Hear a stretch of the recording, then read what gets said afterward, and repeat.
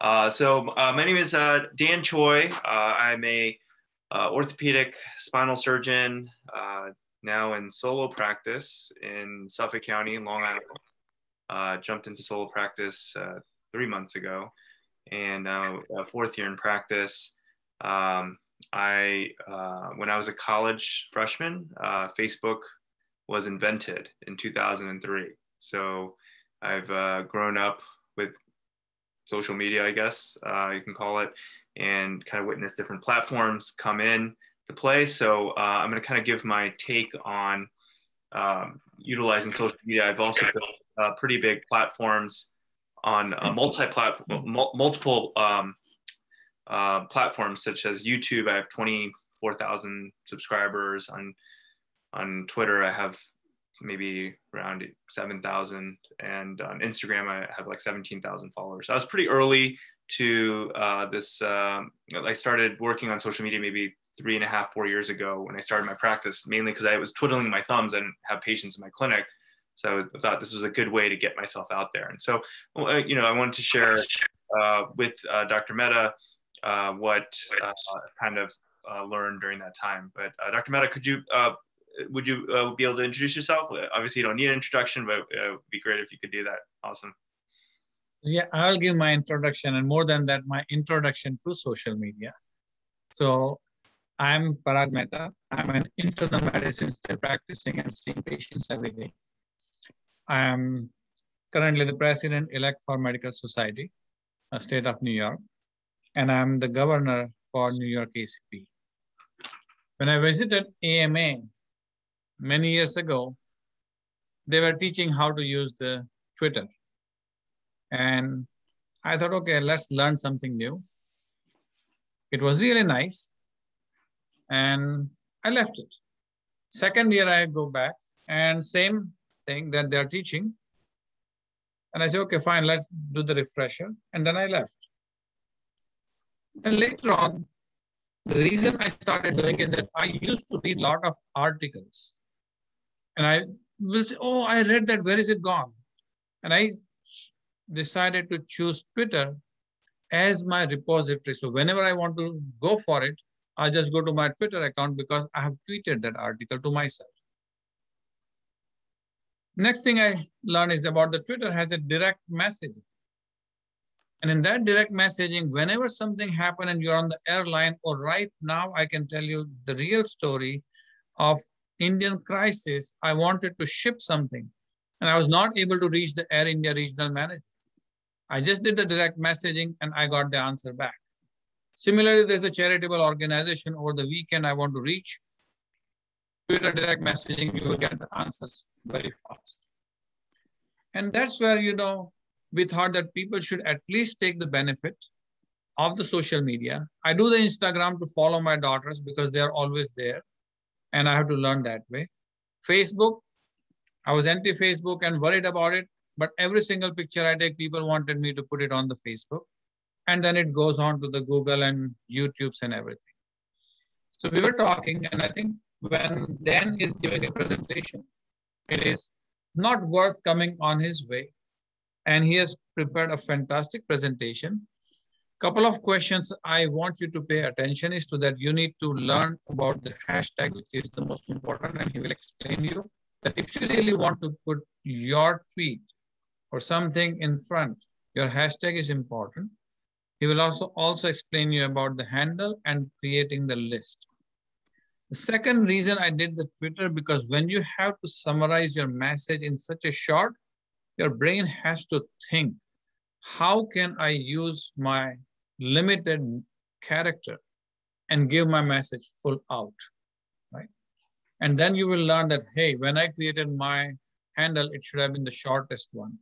And similarly, I learned how to shorten your long, you know, web address or any of those things. So there's a lot of learning. It's an intellectually challenging, and that's how I started. And then there were times when I was participating into the meetings and you see that how many people you meet and how many people you stay connected. It's something which is positive. I definitely do not want to say that the social media is all positive. There are some negatives, and you have to be extremely careful, particularly when you're representing an organization, your tweet, your Instagram, and everything can give you a lot of follower. At the same time, it can give you burnout also. So without any delay, I'll not come into the Dan's, you know, presentation. It's beautiful, fantastic, and let's go for it. Uh, thanks, Dr. Mehta. Uh, uh, appreciate your kind words. Um, I really want to make this, uh, you know, next 45 minutes or so uh, high yield uh, for everyone as possible. So we're really going to try to break down some of the technical parts of social media because it is, so you guys can dive in, hopefully, after this presentation. If you aren't active on social media and you've always been curious, you've been afraid, hopefully this presentation will kind of um, ease you into it. That's the goal. And so the first thing is really asking yourself why even get involved as a physician. And so first of all, it's really where our patients are right now. Our patients are utilizing, I'm going to share with you some statistics. And so because our patients are there, that's where I think we need to be as physicians and as public health experts, as advocates, as, as patient advocates. Um, that's really where we need to be to reach our patients before misinformation reaches them, um, before um, you know they get swayed by non-experts um, about medical conditions or the pandemic or whatnot. That's really where we need to be. And so just a brief overview of the different platforms that are out there. Um, you have you know facebook i'm just we're not going to go through all the different platforms but just the ones that are major facebook is a pretty uh, you know i would say that uh, it's a little bit more of the uh, the demographics is maybe 50 and up is very active on Facebook. But I would say in the last four years or so, Facebook has made a resurgence in terms of younger physicians and uh, younger people as a whole, uh, you know, 30s and up using Facebook as well because uh, Facebook now has a very powerful tool called Facebook groups. So there are physician uh, groups on Facebook that you can find uh, doctors on social media is a big one. It's SoMe Docs run by Dr. Coriel. It's huge now. I don't know how many exactly members are there. There's also lots of niche uh, Facebook groups like Physician Mom Group. I think, uh, sorry, Physicians, um, the Mom Group, Physician Mom Group. And that's like mothers who are trying to balance motherhood and being a physician at the same time. That's a huge group. I mean, we're talking about, I think, 40,000 physicians or 30,000 physicians uh, are in that group. Um, and then there's physicians who are looking for uh, financial independence, who are trading information about investment opportunities, real estate, how to learn real estate. And there's other groups like that. So it's a great, right now, Facebook, I think its biggest strength is actually in these communities that have formed online. Then you have Twitter, which uh, Dr. Mehta uh, talked about. Uh, Twitter is where lots of, um, I know MSSNY leadership are very active on, AMA leaders are very active on uh, and uh, many physicians are active on. The hashtag that many doctors utilize or place in their tweets is med Twitter. So hashtag MED Twitter. And how Twitter works is it's basically, you know, if you look at, you know, these tweets, it's everything needs to be done within 140 characters. So whatever you're writing um, has to be under a certain number of characters. And then you have followers. Like if you look at this, you can see how many followers. Um, I don't know if this is uh, this this particular physician has 1,500 followers. He's tweeted 4,486 things, and every time you tweet something into the Twitter sphere, we call it, um, people who follow you uh, can see what you wrote.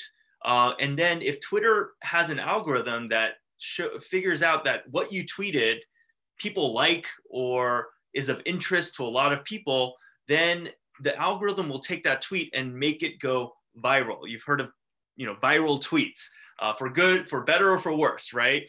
Uh, things go viral for very bad reasons. Uh, things go viral for very good reasons. And so, um, you know, the the you can make things go viral, but as a physician, um, that's not always the thing you're aiming for. Really, you're you're trying to spread good information. Uh, you're trying to network. And so the, the best way to really figure out how Twitter works is to jump on yourself. Um, you know, download the app. There's a phone app. You can also go on the internet, uh, on sorry, on your desktop, and you know, kind of play around with the website. You have to start an account. All of these platforms, you always have to start an account. You have to start, a, you have to create a handle. And that's what uh, Dr. Mehta was talking about earlier with hashtags and handles is that you would have to create a name here like my friend Gary Schwartz, who's a, who's a pain medicine doctor here in Long Island, is he just kept it simple. It's Gary Schwartz, MD. Now that handle cannot be taken by anyone else on Twitter. So you have to come up with one that's unique, and Twitter will tell you if that handle has been taken or not. Uh, my handle is Dr. Dan Choi. Uh, I think Dr. Mehta's is uh, Parag Mehta uh, 4 or something like that. So, you know, everyone has a unique handle. That's how you're identified. And when you see this tweet here that uh, Dr. Uh, Kara Mitopoulos wrote, she you see that she wrote this tweet about sports medicine, about gymnastics, and then she actually tweeted at a certain organization. So here she tweeted at NYU Langone, Peds Ortho NYU HJD, and she did this um, because uh, you know she wanted to raise you know she either wanted to alert that organization about her tweet or maybe those organizations are actually affiliated with some information in the tweet so she's putting those hand tags there the other thing to look at in functionality in Twitter, and again, if you're already on Twitter, this is all basic. I'm really trying to kind of keep this very low level so people who are not on Twitter can jump on there. Is that if you look here, there is a heart function here. There is a this this this uh, kind of round looking thing is what we call a retweet button. And so when you're scrolling, you have a feed. So you follow other accounts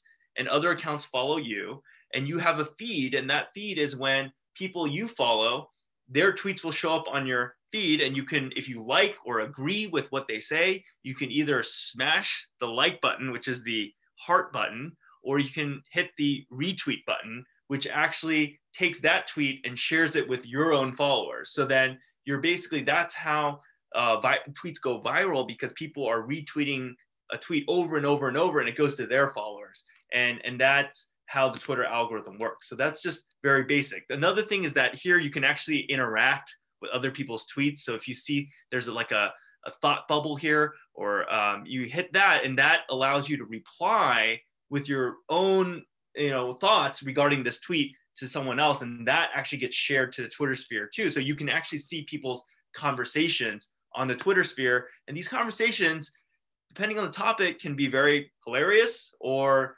very intense or you know they're just you just see these conversations that sometimes may should not be happening out in the open because they usually don't when you actually see people face to face and that's one of the unfortunate parts of twitter is that there's a lot of toxicity and a lot of animosity because people are like you're you're you're sitting here with a phone. You're not you know talking to them directly. And so you can witness that on twitter as well.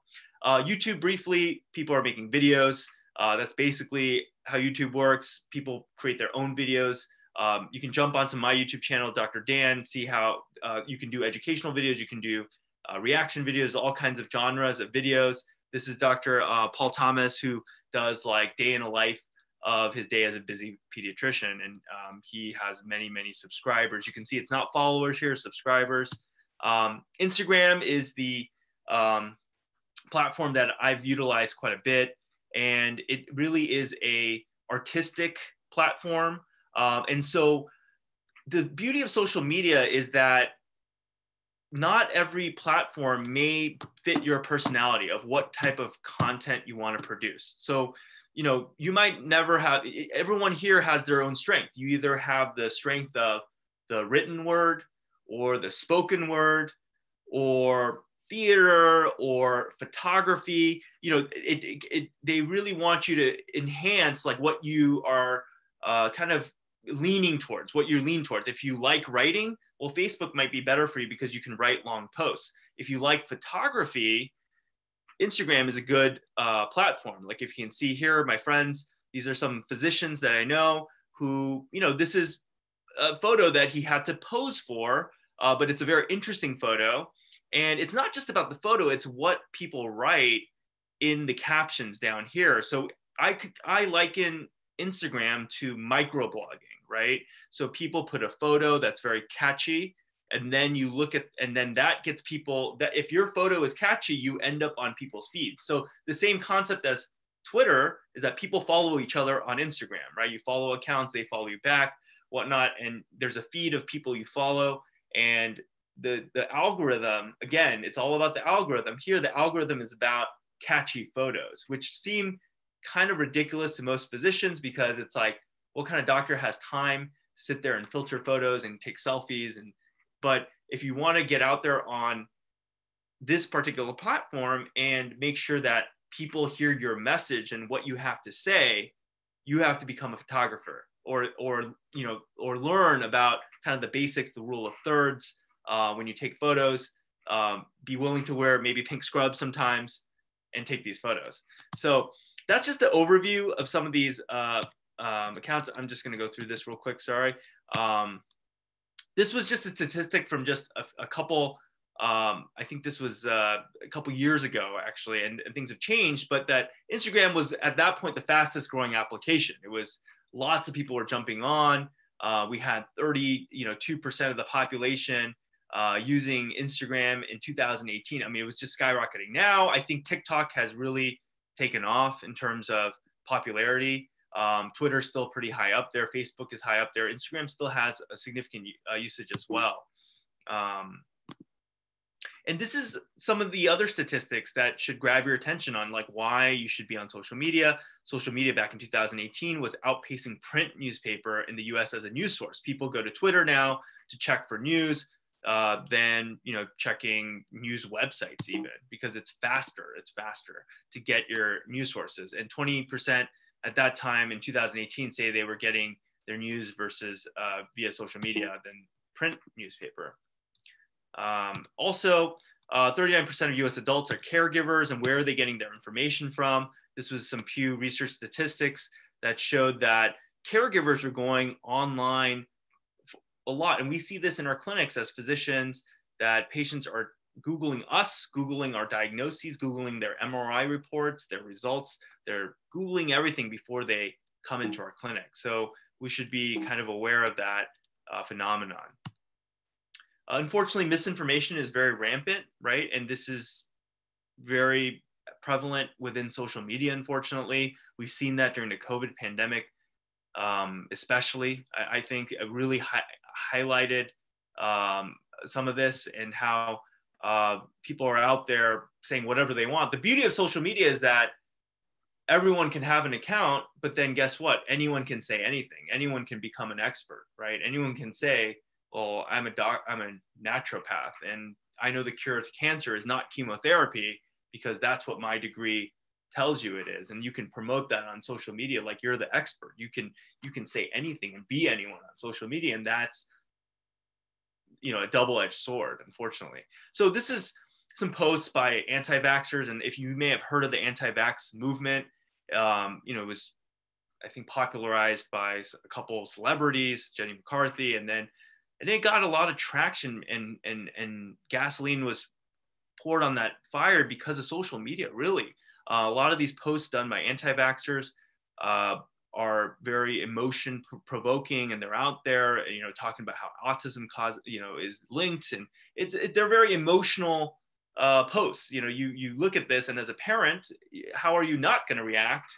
And you, you don't know how to verify these sources on social media. And so um, and, and these are some other uh, kind of um, you know people saying you know chiropractic care is better than seeing your primary care doctor uh, which is which is problematic this is what our patients see so I, have uh, co-founded a uh, national association it was it's called association for healthcare social media this was back in 2019 and it was a bunch of doctors who had met each other on Instagram. We were actually posting evidence-based posts, and we were trying. Our whole goal was like, look, if we can fight this, we were really mad and upset about a lot of the misinformation that seemed to be populating uh, social media platforms. And so, if we're out there saying uh, evidence, putting up evidence-based posts, maybe we can counter this misinformation.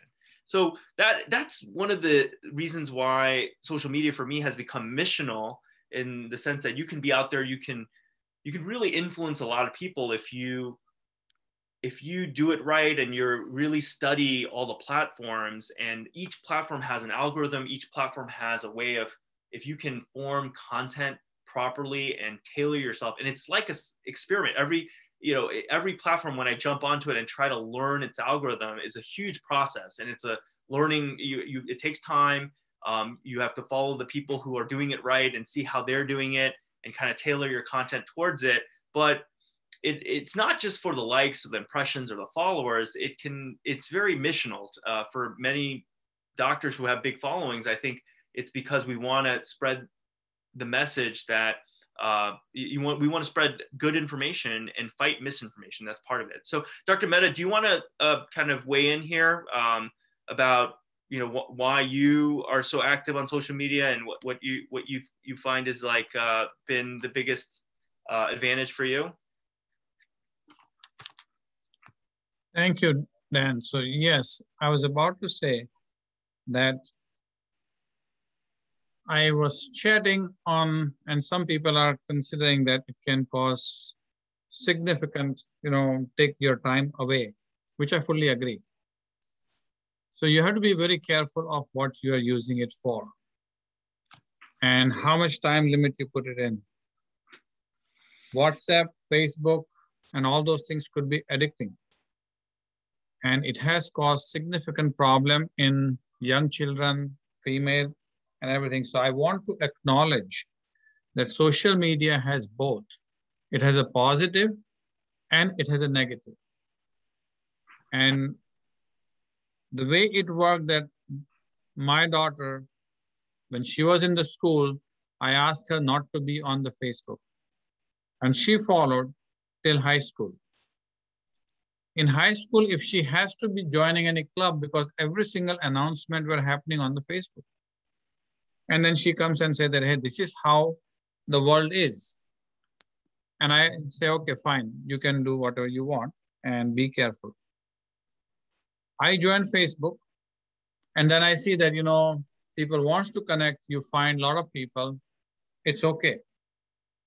Then I gave it to my parents and all in their 80s and 90s enjoyed the Facebook so much that their day was, you know, short.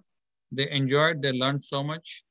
Uh, my mother, who loves to do the knitting and everything, she'll be going on to the YouTube and finding out all the new ways she'll be, you know, knitting my sweaters and everything. So I realized that there are positive sides.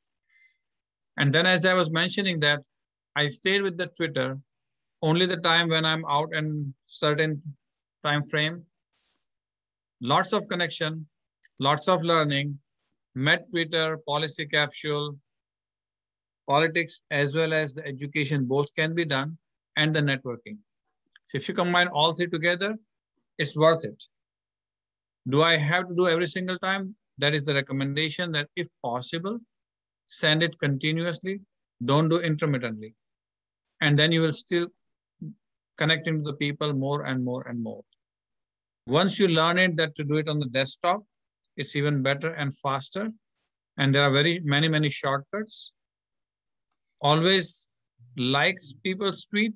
And if somebody is following, follow them up. So try to have fun out of every single one, whether it's an Instagram. So if you follow the National Geographic, or if you follow certain things which are humor, you will definitely enjoy it. So that's how I was doing the Instagram, that just to follow rather than posting anything and it was really entertaining. I did more because we are in position, and if you are in the leadership position, this is how the world is. And that's what I started the example of my children. So we need to know what the world is like. Without getting involved, you will never know. And I continue doing it. So take it back then from here. Any questions in between for anyone? You can unmute yourself and ask the question. Okay. We'll definitely have uh, an opportunity uh, later on for Q&A for sure. We'll leave some time. Um, but thank you, Dr. Mehta. It was uh, very insightful. Um, I want to go through a few, you know, of my own kind of experiences with how social media has really, I would say, supercharged my growth as a physician, the, the, the, the ability for me to be in solo practice and in, in this kind of climate in 2021, uh, I think a lot of it had to do with social media, to be honest. Um, you know, my ability to build my own practice uh, through social media, uh, to make a lot of connections. So back, I would say, you know, what 20 years ago, if you wanted to make a meeting, have a dinner with someone, or make a connection of some sort, right? You're picking up the phone, you're calling their secretary, then you're saying, look, you know, my name is Dr. Choi. I would love to have a meeting with you because of this reason. Then that person is like, who the heck is Dr. Choi? There's no such thing as Google, right? And you know, there, you know, no, it, it's very hard, you know. And what social media does is, when you have your own profile, your profile on whatever platform it is, whether it is YouTube or Instagram or Twitter, is almost like having your CV to, and, and LinkedIn is especially for professionals. So LinkedIn is another network we didn't touch upon, but LinkedIn is a, a social media network just for professionals who are talking about their professional work. And any of those platforms, really what you're doing is you're putting your CV in public for people. What what and you control the narrative. You get to put on your CV on these platforms what you want people to see about you, what you want patients to know about you, um, what your education is, what your qualifications are. You get to you get to dictate that, and then when you flip through any of these platforms and you find people that you can maybe collaborate with or you want to get to know more about their work maybe you get to blast your own work you wrote a research paper that you think is amazing. You know obviously you did the research and you want to let the world know about it. Right now you know 20 years ago it got published in JAMA or journal you know journal of orthopedic trauma whatever. And if it didn't you know kind of make waves it died there right? It died. Uh, your colleagues didn't talk about it whatnot. With social media you have the power to propagate your work and your message or whatever you want the world to know about and it could be your research it could be your practice it could be an advocacy issue that you're passionate about. It could be your involvement in the medical society, whatever you want and people to know about and care about. If you craft a message properly and you put it on your public facing social media account, which is your CV, you can connect with people that much faster. Uh, because it's it's you can make a five second decision when you look at someone's profile on social media like that's someone i need to meet or that's someone I want to connect with. And even with my own practice, I've I've had so many even my first few months just having dinners with people I've met on social media. Like I'm like I need to meet that person because him and I can collaborate for my practice and it's a quick message. We call it direct messaging on all these platforms. You can shoot a quick message. Hey, my name's Dan, uh, Dan Choi. I like what you're doing. You know, message me back. Let's talk. Let's talk about how we can collaborate. Boom and they in turn can look at your profile and decide very quickly oh yeah this is someone i, I want to collaborate with i don't want to collaborate with and they'll return message or they won't and so it is really like networking on steroids to if you utilize social media properly uh, in my opinion and so practice building through social media if you're a physician and you want to talk about your results and how awesome what an awesome spine surgeon you are and you know how you cured people of neck pain and back pain well you can make videos like this and kind of post them on social media. And sorry, this video is not working, but this is one like testimonial video that I've done. Uh, it was uh, very uh, well received on Instagram. Um, and this is a huge point here. If the phone is the new computer, right? Our cell phones are, are is the new computer. Social media is the new website almost, right? Everyone had to have a website, you know, 10 years ago. And uh, now everyone should have a social media presence, in my opinion. Um, uh, again, we talked about networking uh, and how you, it supercharges uh, your ability to network. You know, this group of young physicians on the right, um, if you don't recognize Dr. Mike here is a pretty big celebrity on the left there. We all met through Instagram actually, and then ended up meeting in person. This was pre-COVID, uh, maybe a couple years ago. Um, then there's also the opportunity to participate in education if you're passionate about educating medical students, residents, um, we call it free online access to medical education. Um, you know, people are teaching, you know, medical students about how to read an EKG. You know, I made a video here about, you know, how to how a spinal surgery is done, and I posted that on Instagram. You know, just just for education purposes. Then, you know, I, I want to touch on this a little bit more because we have, you know, uh, we have members from MSSNY here on this call, And everyone who knows me, I, you know, I currently serve as a counselor for Suffolk County.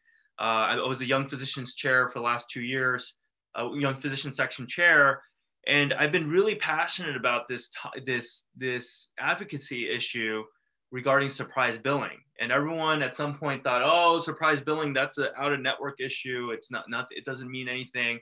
And we did a lot of work for the past two years trying to educate my fellow colleagues that this is not a out of network issue or in network. This affects all physicians. This was a, one of the greatest transfers of capital from payers, from physicians to payers, and they were trying to legislate it uh, by putting it under the guise of surprise billing. And we created this campaign online to try to educate our colleagues and also engage media and other advocacy organizations about this issue because it really um, was flying under the radar. Not too many people were talking about it or understanding what was going on, except a few key leaders here in MSSNY. Uh, we were the, I think, the beacon in the whole nation that was trying to raise awareness about this. And we created this patients over profits uh, profits campaign. Uh, Art Fougner, former uh, past president, uh, was very involved with this. Um, uh, Dr. Michael Brisman also very, very involved as well as uh, Purvi Parikh, um, um, who is a young physician section member as well. And you know what we were out there is if you see this tweet, you can create tweet threads. So like here, if you see this on the left side, I explained etiology of surprise bills explained. It was a thread.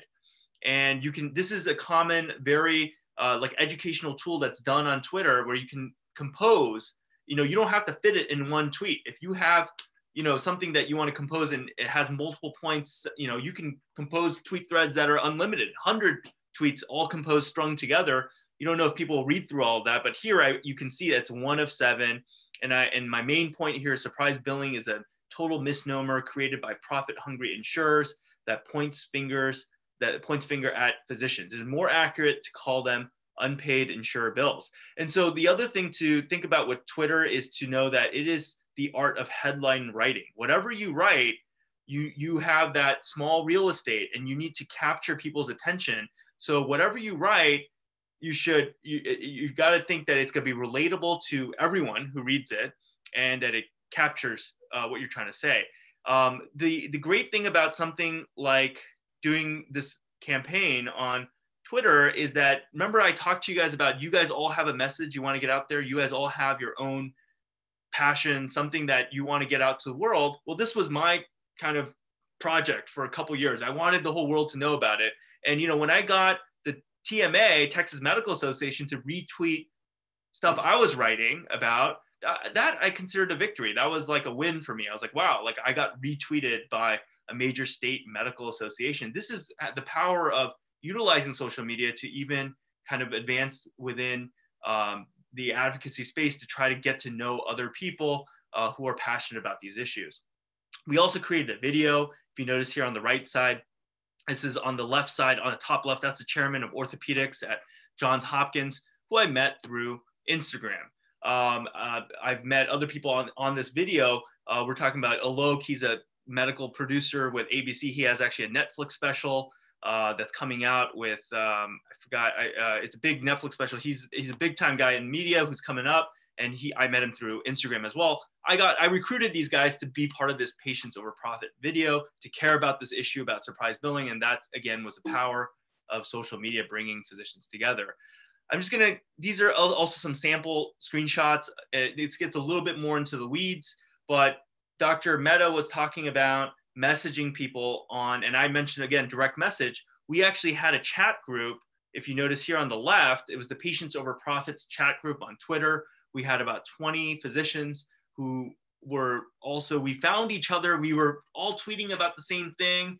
And, you know, what we realized is that the health policy experts were out there, you know, bad mouthing physicians saying we're all greedy. So we were responding to them publicly on Twitter, trying to have debates about how this wasn't a physician being greedy issue. This is the insurers scamming patients issue. And we were trying to change the narrative by organizing. And we did that by creating this chat group, and all of us came together and we would share different tweets that we found on the internet of what we found, and we would all kind of swarm that tweet and respond. And so if you see here, one of the guys are responding here. He's frankly surprised at this article's lack of substance beyond the basics, not to mention several of their statements. So he and and we got Damien here is why is healthcare so expensive in the US?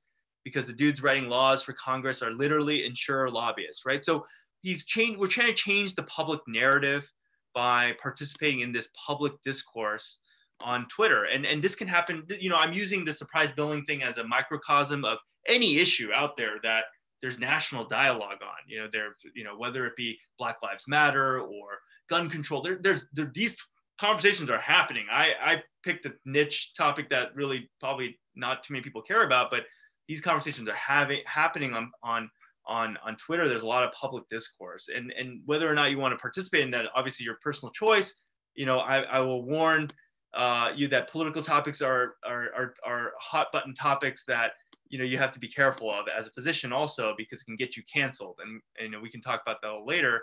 Um, this is just a, a, sample tweet I I put out uh, on April 13th. We're talking about uh, you know, three weeks ago, there was a there was this topic of you know NPs being you know if you guys are not aware of the scope fight, there's you know nurse practitioners are fighting to expand scope of practice in many different states because they're using the COVID pandemic as an excuse, saying we practice independently during COVID. Why can't we practice independently always, right? Uh, and it's it's it's very ridiculous what they're kind of pushing, but uh, at Hopkins, they actually utilized, um, they actually had 74% of study participants receiving colonoscopies by nurse practitioners, um, were, and they were Black, African American. And so that raised a lot of head, that raised a lot of eyebrows. That conversation about this study was happening on Twitter before any major media picked it up.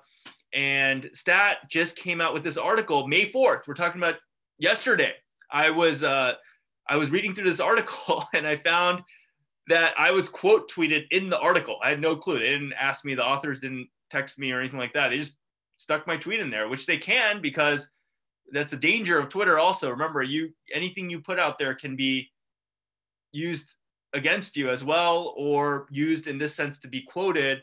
And they quoted me in this article. And this is the power of Twitter. What you're saying can get amplified uh, because this article apparently is being read by hundreds of thousands of people now and my quote is in there and i didn't mean for it to be in there but you know it, i'm glad it is.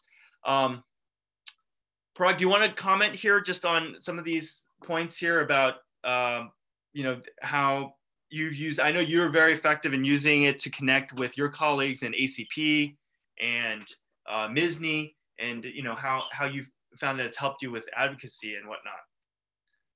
I just mentioned in the chat before that when you publish any paper, there's a score which decides the effectiveness of your paper.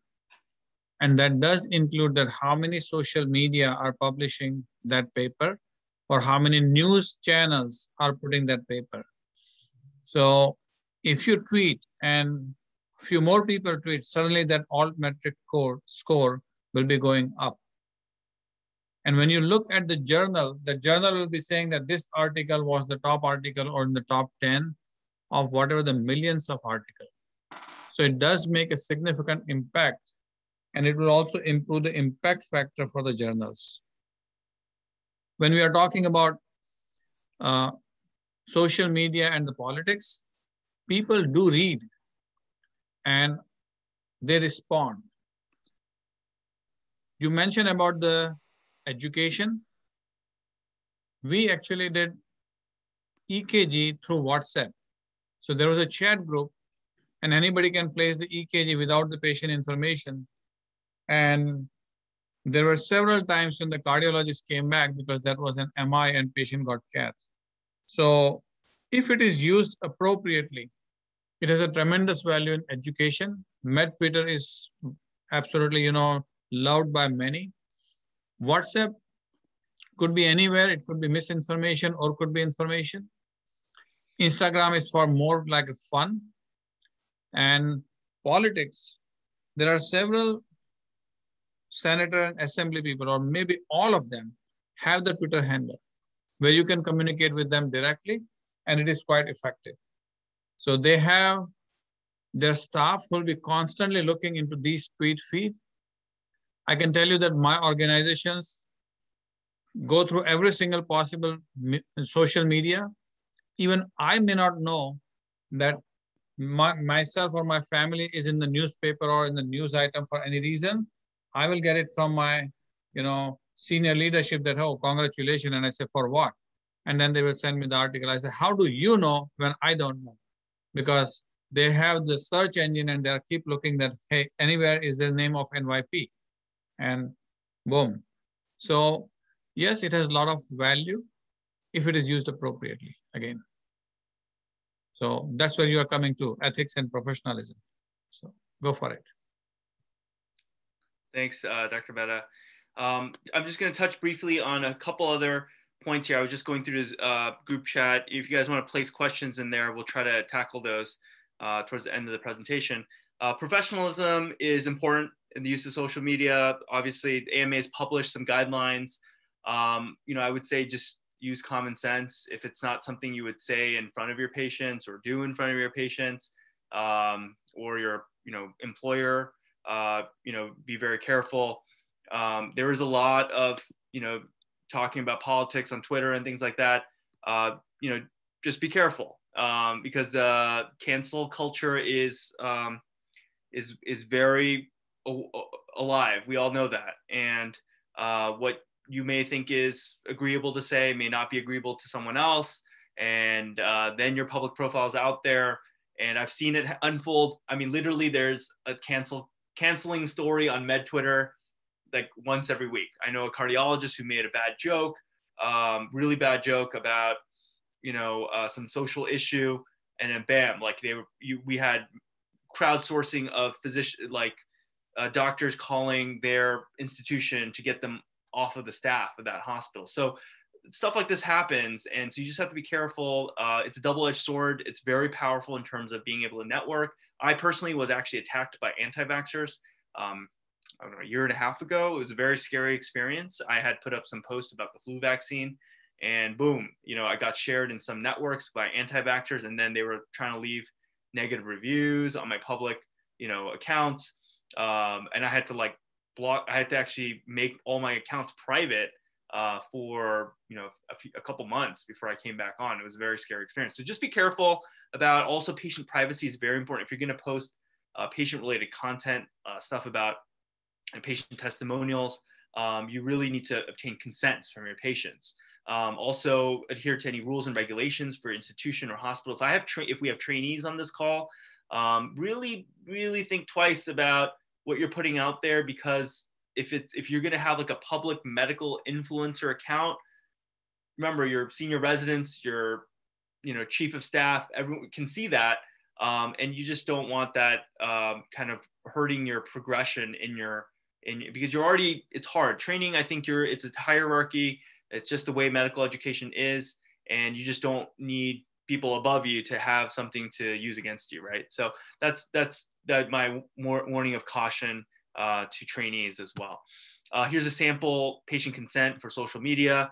Um, this and the other thing is just when you're on there, you want to have your own voice. Um, you know, you want to be as uh, genuine as possible while still maintain, maintaining professionalism. Um, every voice is different, and yet all can be successful. Just because someone's doing it one way doesn't mean you have to be the guy who makes tweets, composes tweets that way. We all have something to share and something great that people need to know about. So, you know, we want you to get on there and share your own voice and really just get started. That's the biggest barrier. If you're sitting here and you're wondering, you know, do I really want to do this? I think just at least getting started uh, is a great first step. If you really want to get serious about social media and you're like, look, I, you know, I, I have a lot of time on my hands. I want to build up my presence. I want to build my practice on social media. I want to uh, be able to network on there. Consistency is very important when it comes to social media. You have to kind of treat it like a second job. There was a time when I was literally setting aside an hour a day and eight hours, 12 hours on the weekend to generate content. Like I was pumping out YouTube video weekly, every week, and and that's that was like a 12 hour process because I would have to pre-write the script. I would have to rehearse the script actually film it, then send it to a video editor or edit it myself and then get it uploaded and, and do it every single week was like a second job. And I did that for a while until I had my second daughter. I couldn't do it anymore. Uh, but during that time of consistency, um, I generated a pretty huge following on there. So uh, the other thing for success is find social media players in your niche, in your niche or specialty, see what they're doing to uh, become big and successful, and you can kind of duplicate what they're doing.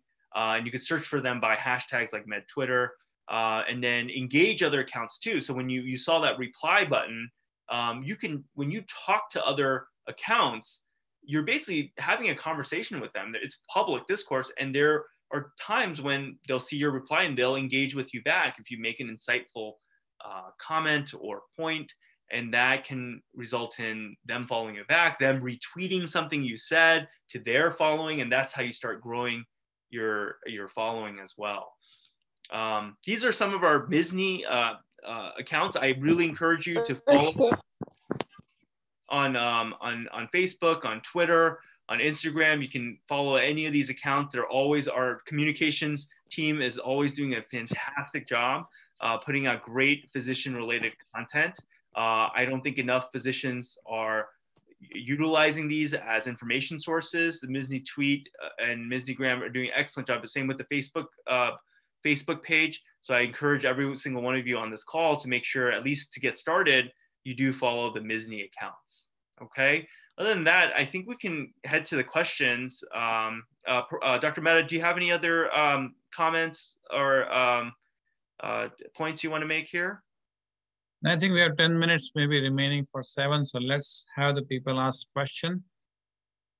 Great. I think we had one question here about um, I was going back here about starting, right? It was said uh, how to start an account. Yeah, how to start an account. I think it was um, if you were to start being involved in social media, what would you recommend? Uh, what sites would you start with? You know, I would pick a platform that you sounds interested in to you, whether it be Twitter, Facebook, you know, and then find some of the bigger, some find some of the popular accounts on there. Um, and and when I say popular, it doesn't have to be like a media personality. We're talking about just like you know, if you want to follow Dr. Mike, you know, he's a big media personality. He's sorry, he's a big social media following on YouTube or even on on Twitter. Um, and you see how he tweets and what what he tweets and how he does it. Uh, that's one way to do it. Uh, you can follow other physicians. Look, search Med Twitter look at other physicians, just follow them and see what they're doing. Uh, then start an account, obviously, start a handle. Um, and, um, you know, I think Twitter is a pretty easy site, easy uh, app to figure out. Um, I would probably recommend Twitter as a good starting point for, for most uh, physicians. Uh, Dr. Mehta, you, what do you think? Yeah, I was about to say, again, depends on what you are looking for. So you will find more friends on the Facebook. And that can go easily into the thousands. So if you're looking for your classmate or some others, Facebook is fine. The security of Facebook, I can't promise anything. The moment you surf something, they will be pushing ads. And while you surf on one computer, immediately when you go to the work computer, it will be same ads, same sales. Twitter is in your control. Usually it is one way. So you don't have to worry and respond. I wanted to say that people who are using Zoom and they have their own Zoom account, you can stream to the YouTube simultaneously or to the Facebook simultaneously. So if you want to archive your videos, you can do it onto the YouTube and you can keep it as private or public. So that's another thing which is a very good benefit. Um, if you are on the Zoom and you have a limit of 500 and you want to go up to 1000 or more, that's another way of, you know, going to the YouTube versus Facebook. So that's beautiful. If you're creating the YouTube videos, try to keep it small and simple.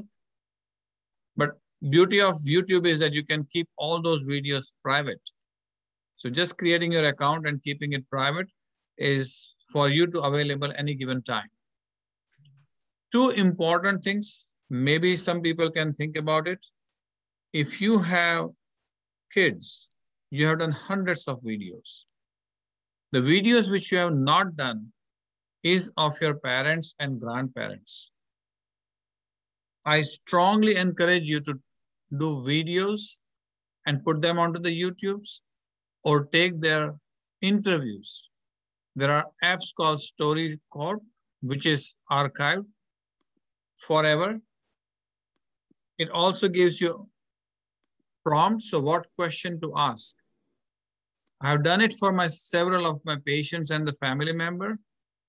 This become a treasure for the families when the person is not in this world. So I had several patients who are very willing to talk to me. And when they are particularly on the end stage, it's worth making a short video, long video, or recording them. Ask them to sing, ask them to story about how they got married, how they found their husband or wife. And those are absolute treasure. So you can use the social media even for archiving forever. Um, we have done it for Medical Society, that's the County of Kings. We asked the students to interview the senior physicians so that they can tell their experience and their story that what the glory of this society was and how we can go further. So it can be used in many different ways. I already told you that we are using it for the training of EKG, X-ray or CAT scan, and that is very well received. It depends on the enthusiasm of both trainer and trainee. And you learn every single day something out from the other people. I will remiss if I say that, you know, my Twitter came back because of the Lance Austin. We were sitting and he's, you know, hey, let me teach you. And that was my one-to-one. -one. And my another guru is Art Fougner, who respond like quickly. You can get him on Twitter in less than 30 seconds. You will get back to him. So many other things I see the Nandini and those are also quite, you know, heavy user of Twitter. And anyone has any further comment, we'll be more than happy to listen to you as well as learn from you. I'm going through the chat and I got uh, Moshi and uh, and uh, Rachel um, have had some really excellent points uh, throughout that chat. I would definitely hard co-sign all of these points that they're making here about using YouTube to find resources on social media. You can find tutorials on pretty much any platform on YouTube. If you go on YouTube and just search like how to use Instagram or how to put posts up on uh, Twitter, or how to tweet, you know, you'll find great videos on there. Um, so I highly recommend these points that uh, both are making. These are excellent points. Um, Rachel wrote very nicely. She wrote about that as long as it is engaging, commenting and liking, that will make it, you know, it's worth it. Absolutely. Um, and, you know, screen time, people are asking, you know, how much time you need to dedicate to social media. It, it, really depends, you know, on like how serious you're trying to be on it. If you're using for entertainment or using it for, you know, to really build a public uh, account. And, you know, if you're really trying to build a public presence, um, the more seriously you take it, the more successful I think you're going to get. So it really depends on your level of um, interest in, in, in growing your public platform. I can tell you, I was pretty hardcore about it for good two and a half, three years. We're talking about probably two hours a day on the weekend, spending 12 to 18 hours producing content. Um, I was kind of a nut about social media. I, I loved it. I loved what I could accomplish on it. But I got to tell you, it also a, was a huge time suck. Um, I've kind of pulled back from social media. I would say overall, just because of my you know my practice and family and and things like that. But I would say that the more time you do invest in it and you treat it seriously, the, the faster you can grow. I would recommend one podcast if you really wanted someone to get some inspiration for about is is is he's kind of curses like a sailor during the podcast and he's he's very uh he's a little bit like edgy uh, but um, his name is Gary Vaynerchuk, uh, Gary V, uh, V E E, uh, and he talks about you know why social media is important and how to. He was kind of like my original inspiration for you know putting a, you know regular amount of time into getting my message out there. So I recommend you listen to him. He has a pretty well followed social media following as well, um, and whatnot. Um, who uh, do we have any other questions we can answer? I don't Yes, Rachel agrees with me that Gary Vee is amazing. So, you know, if you want to, if you want somewhere to start too, you can start listening to his podcast. Uh, he's he's great. All right. Any other questions? Let's see. What other?